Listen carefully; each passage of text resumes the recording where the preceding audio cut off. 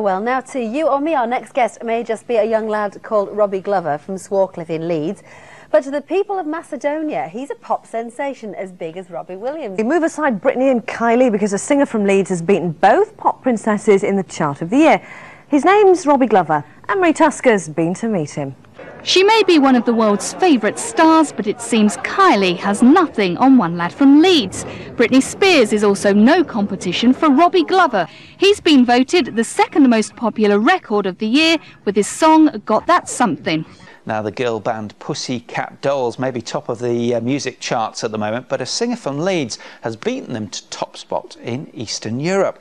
That's because Robbie Glover from Swarcliffe released his latest track, Hot Girls, voting at top of the charts. But it's not the first time Robbie's had a big success in that country. He beat both Britney and Kylie in their chart of the year. And I feel privileged because we've got you before you're famous, because I know that you're going into the music industry. Yeah. And we wish you lots of luck with that, Robbie. Thank but thanks much. for coming on.